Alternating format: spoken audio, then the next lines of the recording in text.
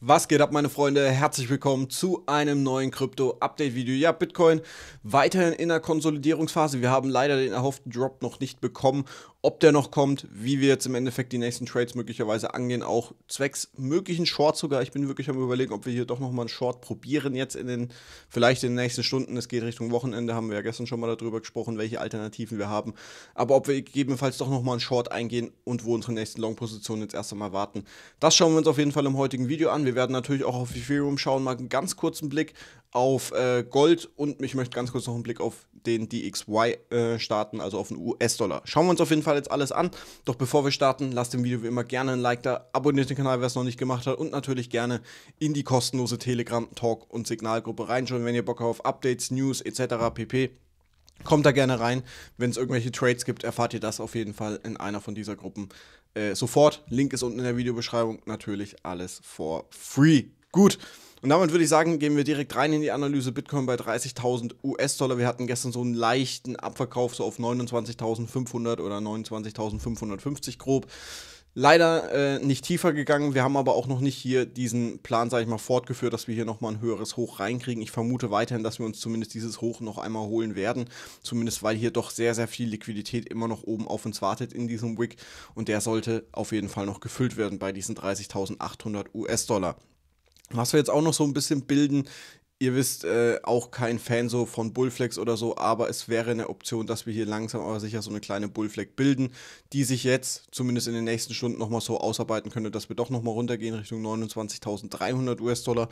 Würde sehr, sehr gut mit dem 0236er FIP-Level passen und einigermaßen gut zu dieser Ineffizienz, die wir hier noch haben, in diesem Pump, den wir hier zumindest gebildet haben. Also es ist nicht unwahrscheinlich, dass wir diesen Bereich jetzt einfach nochmal testen, so in den nächsten Stunden und dann aus dieser Bullflex vielleicht unser Fake-Out kriegen. Heißt, dass wir uns dieses Doppel Doppeltop hier oben holen bei 30.800 US-Dollar, die Liquidität da drüber fischen. Vielleicht ziehen wir auch noch ein bisschen höher auf 31.1, aber das ist so momentan jetzt mal der Hauptplan, den ich mir jetzt heute für den Freitag vorstellen könnte. Auch aufgrund dessen, wir haben gestern schon mal darüber gesprochen, ähm, was unsere Psy-Range einbelangt. Und die wird normalerweise immer im Laufe der Woche wieder grundsätzlich gefüllt oder zumindest bis spätestens Anfang nächster Woche.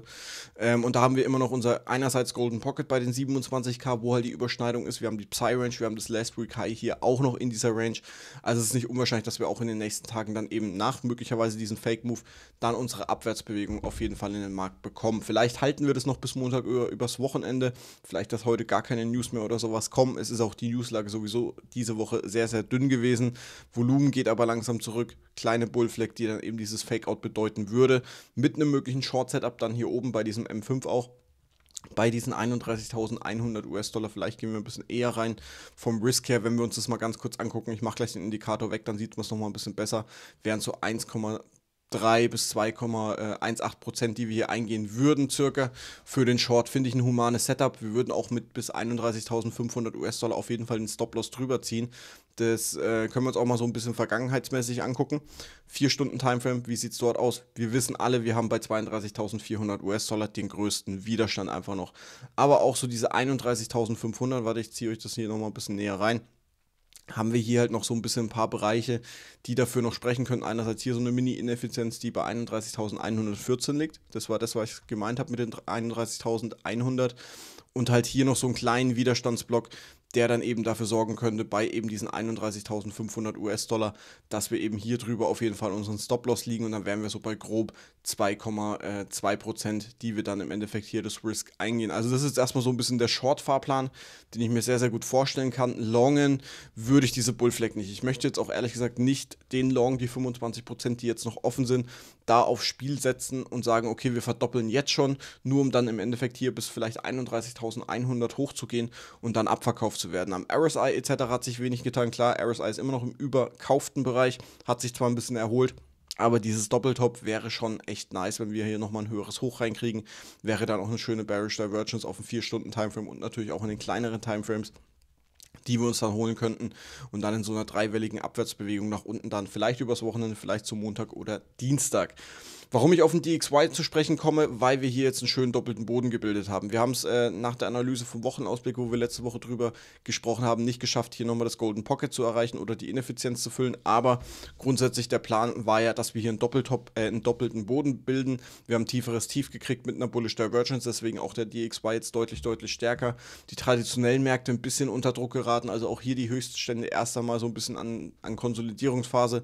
Und da könnte es jetzt eben interessant werden, ob der DXY jetzt hier wirklich übers Golden Pocket kommt und seine Fahrt im Laufe des Tages wirklich noch bis zum mindestens Golden Pocket oder bis zum 0786er hier oben, was ja eigentlich so das grobe Ziel war vom Wochenausblick letzter Woche, dass wir das Ziel erreichen und dann vielleicht möglicherweise erst wieder eine Korrektur kriegen mit einem höheren Tief. Aber das können wir dann morgen nochmal alles im Wochenausblick auf jeden Fall besprechen. Aber das könnte halt die Märkte dann nochmal ein bisschen zusätzlich unter Druck bringen. Wir am Freitag, zuletzt kam immer wieder Freitag so ein paar bearische News und so, die sich dann in, an, in der letzten oder in der neuen Woche dann wieder ein bisschen aufgelöst haben. Also heute gilt auf jeden Fall vorsichtig zu sein. Short, wie gesagt, ist auf jeden Fall in Planung. Long vergrößern überhaupt nicht nach derzeitigem Stand. Und wenn wir schon gerade dabei sind, würde ich auch sagen, gehen wir gleich mal rüber zu Gold, weil da hat sich auch ein bisschen was getan. Wir sind, huch, wo, na, so, jetzt aber. Wir sind ins Golden Pocket eingetaucht, endlich mal. Das heißt, auch hier wurde meine zweite Order jetzt endlich mal getriggert. Ihr seht auch hier das mögliche Setup. Ich weiß nicht, ob ich es noch in die Gruppe stellen soll, äh, weil ich ja immer schon mal was dazu gesagt habe. Plan oder ist auf jeden Fall, die Long-Position wurde jetzt hier bei mir zumindest mal verdoppelt, äh, nachdem wir hier oben schon mal ein bisschen den ersten Entry gesehen haben. Gefällt mir auch sehr, sehr gut. Also wie gesagt, Golden Pocket wurde gehittet. Ich zeichne euch das ganz kurz nochmal hier ein, weil es irgendwie gelöscht worden ist. Ich glaube, das haben wir beim Wochenausblick mal ganz kurz rausgenommen. Da sieht man es also perfekter Hit. Würde ich mir jetzt wünschen, das würde jetzt eher dafür sprechen, okay, Dollar geht jetzt noch ein bisschen höher. Das heißt, Gold könnte, könnte hier noch ein bisschen konsolidieren, um dann, sage ich mal, nächste Woche, wenn der Dollar wieder seinen in Anführungszeichen Abverkauf sieht oder seinen kleinen Crash sieht, dass äh, zumindest dann Gold mal hier oben bis ungefähr 1946 die Ineffizienz dann füllt. Das ist jetzt erstmal so der grobe Plan. Ich habe gesagt, ich halte euch da ein bisschen auf dem Laufenden. Also Gold Order wurde getriggert, perfekt im Golden Pocket und jetzt muss aber auch hier mal wirklich eine Erholung stattfinden. Gut, das war es jetzt erstmal so zu Bitcoin, DXY und ähm, zu Gold erst einmal. Also Bitcoin brauchen wir jetzt auch nicht näher drauf eingehen weiter. Wir gehen rüber noch zu Ethereum. Ethereum hat sich jetzt erstmal hier oben den Bereich, da haben wir, glaube ich, gestern schon mal drüber gesprochen, genau, weil ich jetzt hier auf Startum gucke, wann die Candle hier war, dass wir jetzt hier erstmal in diesem Widerstandsbereich drinnen sind auch Ethereum gerade momentan in so einer kleinen Bullflag. Wir schauen uns das Ganze auf einen 1-Stunden-Timeframe an, schauen uns hier mal ein bisschen so oder ziehen die beiden Linien für eine Bullflag. Da wären wir jetzt sogar schon ein bisschen ausgebrochen. Ist jetzt nicht die Muster-Bullflag, muss man natürlich auch dazu sagen. Sieht jetzt nicht wunderschön aus, aber grundsätzlich stimmt. Wir sind hier schon ausgebrochen. Ich erwarte auch hier, der übergeordnete Fahrplan bleibt mindestens das Golden Pocket, deswegen machen wir den mal beiseite. Aber der Fahrplan bleibt vielleicht noch, hoch, das wollte ich auch nicht. So, jetzt aber, äh, dass wir uns hier zumindest das äh, Doppeltop hier erst einmal holen, Richtung 1940 oder 1950, dass wir hier auch ein bisschen überschießen und dann halt eben diesen Korrekturfahrplan erst einmal einhalten. Also genau das gleiche Spiel wie bei Bitcoin. Wir haben hier nur noch ein bisschen das Problem bei Ethereum, dass Ethereum noch deutlich überschießen kann. Ne? Also ich würde hier Ethereum erst einmal auch ein bisschen Seitenlinie bleiben, jetzt nicht den Short, den ich jetzt hier gerade genannt habe, nehmen, sondern vielleicht sogar hier oben in Richtung 2000 US-Dollar schielen.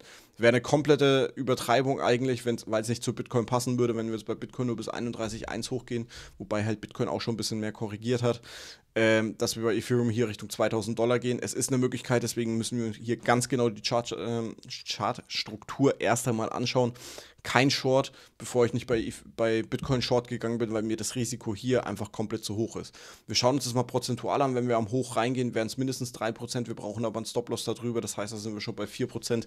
Viel zu viel, zu viel meiner Meinung nach.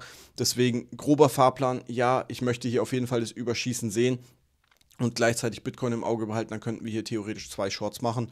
Volumen geht raus derzeit bei Ethereum, spricht aber auch dafür, okay, der nächste Move sollte in den nächsten Stunden dann früher oder später auf jeden Fall folgen. Gut, dann würde ich sagen, war es das äh, für das heutige Freitag-Update. Ähm, wenn ihr irgendwelche Chartwünsche habt oder sowas, schreibt unten gerne in die Kommentare rein. Würde ich mich riesig darüber freuen, weil äh, jetzt wieder Altcoin-Wünsche, wie gesagt, äh, ich nach und nach angehe. Ähm, heute Nachmittag kommt auf jeden Fall äh, XRP-Update-Video, wie jeden Freitag. Und die neue Folge bei Crypto and More, wenn es laden würde, kommt dann auch online. Ja, lädt anscheinend nicht so wirklich. Egal. Auf jeden Fall, die neue Podcast-Folge kommt heute Mittag auch um 12 Uhr online. Wird wieder eine interessante Folge. Danke für euer Feedback auf jeden Fall für die letzten Folgen. Sehr, sehr viel positive Resonanz, die sich auch privat bei mir gemeldet hat. Also freut mich auf jeden Fall. Und dann würde ich sagen, äh, Like da lassen, Abo da lassen. Wie gesagt, Telegram, Talk- und Signalgruppe join, wenn ihr Bock habt auf Updates, News etc. pp. Kommt da gerne rein. Und dann würde würd ich sagen, wünsche ich euch einen schönen Start in den Freitag genießt das Wochenende, verbringt nicht zu viel Zeit vorm Chart, aber guckt das Video zu Ende. Und dann war es von mir. Wir hören uns später wieder. Bis dahin, ciao, ciao und wie immer, stay crypto.